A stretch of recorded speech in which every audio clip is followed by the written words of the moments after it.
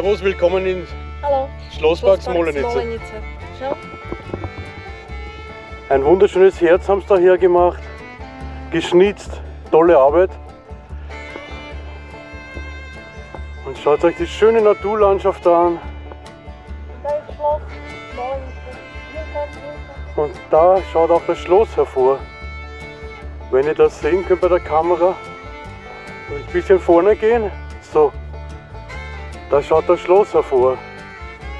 Wunder, wunderschön.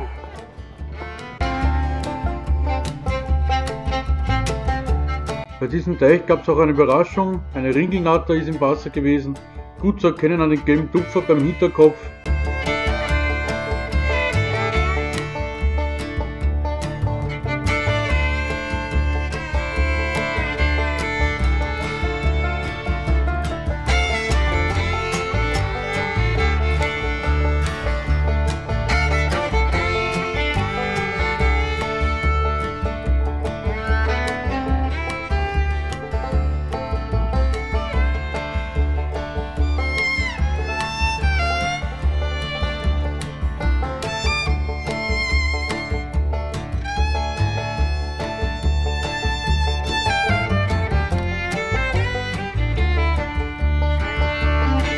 Vorerst geht's mal zu einem Schloss, bevor wir dann eine abenteuerliche Tour auf den Wegen der Kelten starten.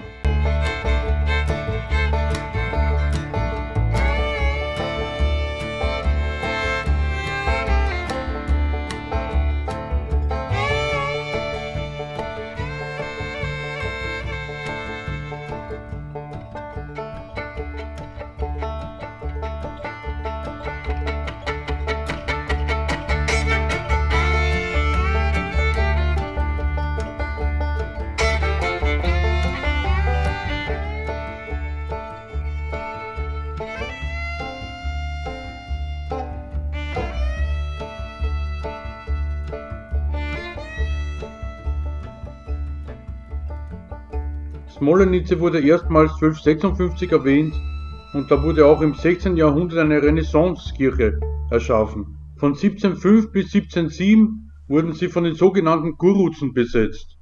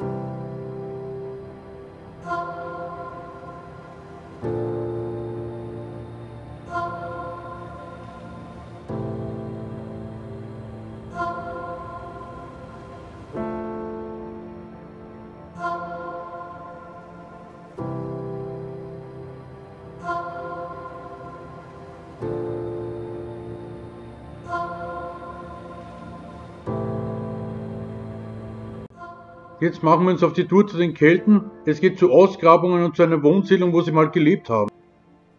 Jetzt gehen wir dann einen schönen Waldweg entlang. Leider sind die Gelsen auch mit dabei, aber wir haben sich fest eingesprüht. Mhm. Wird hoffentlich passen. Wasserfrau, wunderbar. Leider ist es zu trocken. Geht nicht, aber da ist eine Kapelle. Der Weg schaut jetzt sehr abenteuerlich aus. Voller Steine, da wird mal viel Wasser gewesen sein, wie es ausschaut. Da ist das Wasser durchgeschossen. Da liegt einiges an Geröll. Kann man gut vorstellen, dass da mal eine starke Strömung durchgeflossen ist bei einem Gewitter, weil es ist noch ziemlich feucht. Da gibt es Stiegen hinauf und große Felswände. Und das sollte ein Wasserfall sein, aber wahrscheinlich ist es wirklich zu trocken. Hui, die Hunde sind ganz verrückt jetzt. Sophie, Pepsi. Sophie! Hallo! Sophie, Pepsi. Komm! Sophie! Pepsi! Sophie. Ah, die Sophie folgt. Pepsi! Pepsi. Die Pepsi geht, glaube ich, den komplizierteren. Ah, da ist. Abkürzung gemacht, die Pepsi. Schaut mal.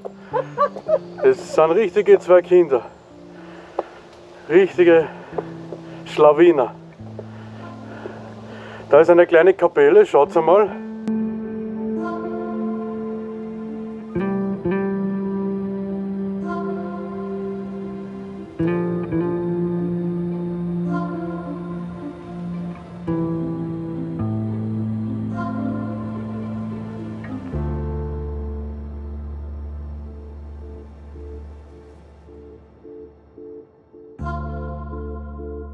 Hier sollte der Wasserfall sein, der sollte da hinunterströmen und da, da weiter entlang, aber leider kein Wasserfall vorhanden. Es ist zu trocken. Die Sophie hat sich das auch angeschaut. Sie ist immer mittendrin, statt nur dabei. ja. Aber die Landschaft ist wirklich sehr, sehr schön. Richtiger Dschungel wieder. Schau, wie tief da runter geht. Das ist ein schönes Abenteuer wieder. Boah. Da sollte der Wasserfall runterströmen, aber leider, leider, da ist nichts mehr da. Bei einem schweren Gewitter kann sich das aber schnell wieder ändern. Ihr wisst, wie das in die Berge ist. Einmal ein starker Regen und schon geht's los mit dem Wasser.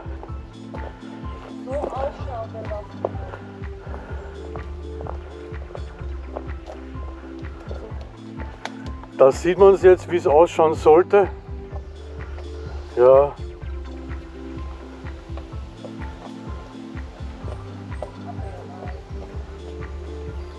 Viel Moos ist überall, also feuchte Gänge auf jeden Fall.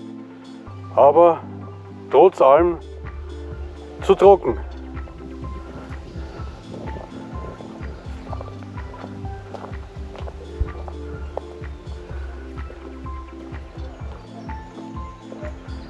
Die Sonne hat sich verabschiedet. Es ist stark bewölkt. Gegen Abend haben es Gewitter angesagt. Ich hoffe, es bleibt jetzt mal so. Brauchen wir jetzt nicht.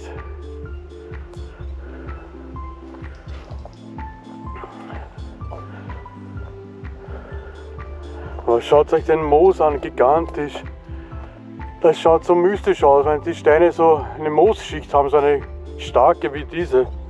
Schaut mal, richtiger Teppich. Wahnsinn.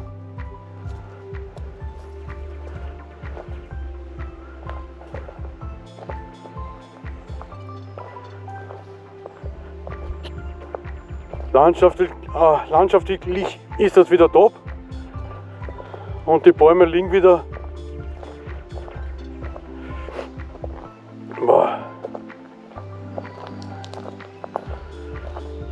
Dass die Bäume da liegen, hat auch einen Grund. Wenn der Boden feucht ist, also wenn es viel geregnet hat, können sich die Bäume nicht mehr halten. Der Boden ist aufgeweicht und dann purzeln die Bäume alle um. Das hat auch mit der Regenzeit zu tun. Da ist sehr feucht, da müssen wir aufpassen. Und ui, da ist auch schwer rüber zu gehen jetzt. Wenn man sich nicht am Rand, wenn wir oben bleiben und da hinübergehen. Da muss ich jetzt ein bisschen schauen. Ui, ui, ui. Boah.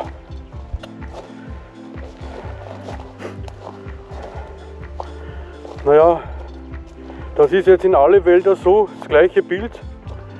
Wenn die schweren Gewitter da waren, der Boden ist zu aufgeweicht, es hat ja auch viel geregnet. Der Mai war sehr verregnet, teilweise Juni auch, ja. Mhm. Ja, Höhlen gibt es auch, hoffentlich finden wir es. Super. Naja, Jetzt können sich die Bäume wieder festhalten. Es ist wieder ein bisschen eine trockene Phase, aber es ändert sich halt immer schnell. Alle zwei, drei Tage kommt dann wieder was Heftiges. Dann ist der Boden wieder aufgeweicht.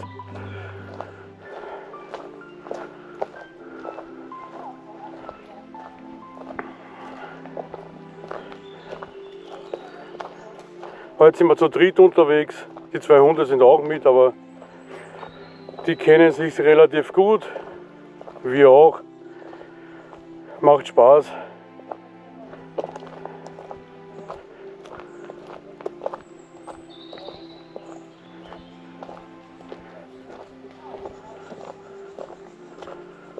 Die Vögel zwitschern uns als vor wieder. Eine schöne Waldstimmung, angenehm.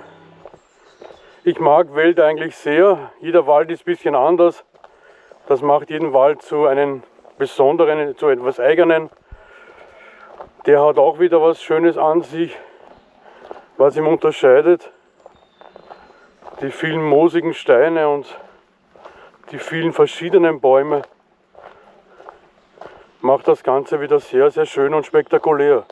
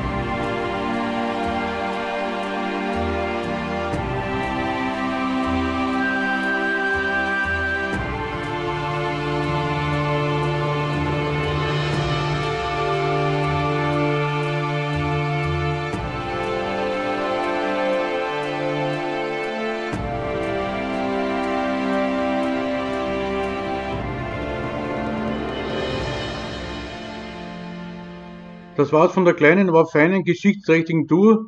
Hat uns sehr gut gefallen. Wir hoffen euch auch. Bis zum nächsten Mal, liebe Freunde.